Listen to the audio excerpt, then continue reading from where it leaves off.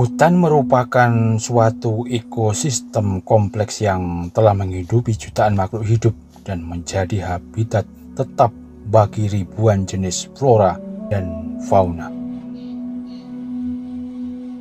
Selain itu, keberadaan hutan telah berperan dalam mensuplai kebutuhan udara dan air bersih serta menjaga iklim dan temperatur suhu bumi agar stabil tentunya.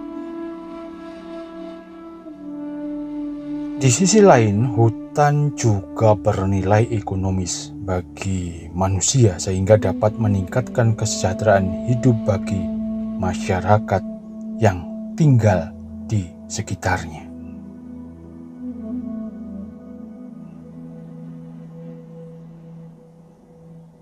Hutan sangat berperan dalam menyimpan karbon dioksida dalam jumlah besar agar tidak terlempar ke atmosfer bumi.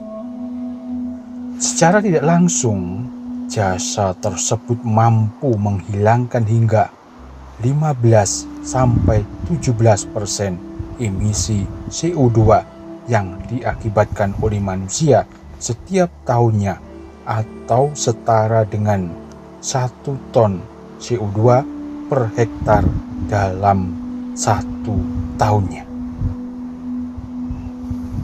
Selain membantu dalam proses mitigasi dampak perubahan iklim tentunya, selain itu juga hutan dapat meningkatkan kemampuan manusia dalam beradaptasi terhadap perubahan iklim tersebut.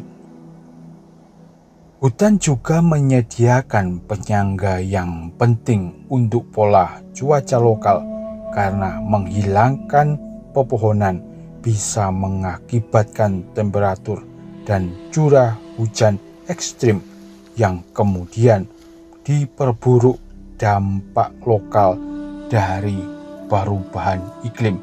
Ini dapat kita lihat di beberapa tempat, entah itu di Indonesia dan tempat lainnya, banyak banjir bandang yang terjadi karena pohon dalam hutan yang statusnya masih tetap hutan tetapi sudah beralih fungsi menjadi lahan pertanian.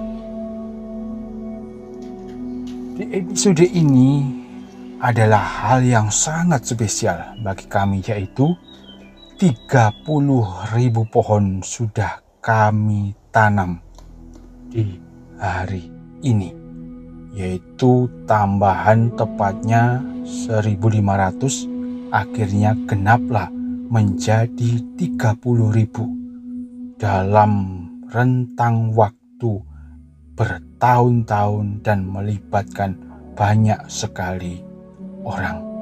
Sangat berterima kasih sekali saya kepada teman-teman semua yang terlibat langsung ke lapangan dalam penanaman ini yang dimulai sekitar 16 atau 17 tahun yang lampau, yang di mana pohon yang kami tanam pertama kali itu sudah sangat besar. Dan di hari ini adalah kami masih tetap menanam dan menggenapinya menjadi 30 ribu. Inilah warisan kami untuk generasi tidak hanya sekarang, tetapi generasi mendatang.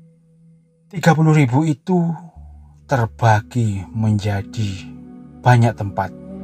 Di Bali ada beberapa tempat yaitu di hutan Gunung Agung, hutan Gunung Merbu, Gunung Batur, kemudian Gunung Sangyang, kemudian ada di Gunung Mesei, beberapa lagi di Taman Nasional Bali Barat, kemudian ada kita tanam di Sumbawa, tepatnya di dekat atau di sekitar hutan Gunung Tambora.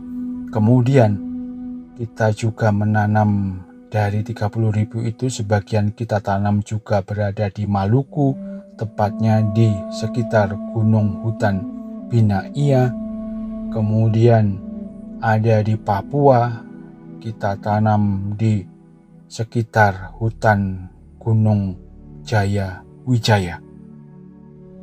Ini adalah perjalanannya sangat panjang yaitu sekitar 16 atau 17 tahun yang lampau hingga hari ini.